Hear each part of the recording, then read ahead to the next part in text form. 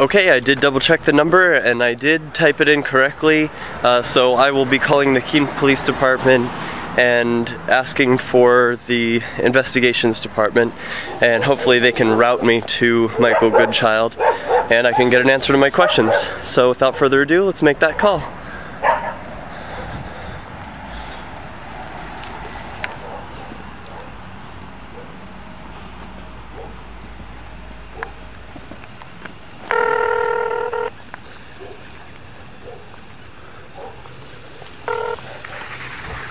Welcome to Verizon Wireless. The wireless customer you called is not available at this time.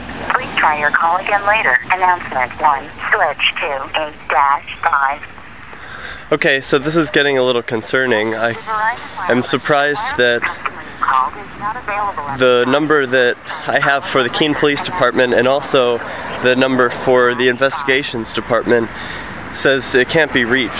And uh, that's a little concerning because this is the police department we're talking about.